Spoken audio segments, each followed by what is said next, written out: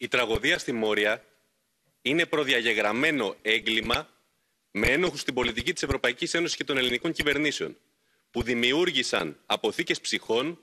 και επέτρεψαν να ενταθούν οι ανθρωπιστικοί και οι υγειονομικοί κίνδυνοι για ανθρώπους κατατρεγμένους από τους πολέμους, από τις υπεριαλιστικές επεμβάσεις που οι ίδιοι, η Ευρωπαϊκή Ένωση, το ΝΑΤΟ και οι Ηνωμένες Πολιτείες δηλαδή διεξάγουν.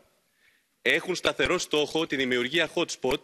με μετατροπή της Λέσβου και άλλων νησιών του Αιγαίου σε μόνιμα στρατόπεδα συγκέντρωσης και για να τον επιβάλλουν επιστρατεύουν τα ΜΑΤ, επιστρατεύουν την καταστολή σε βάρος προσφύγων και νησιωτών.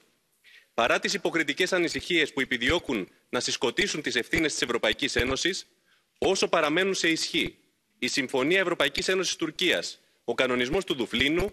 τόσο θα συντηρείται και θα γιγαντώνεται το πρόβλημα. Να κλείσει οριστικά η Μόρια, τα άλλα κήτ των νησιών,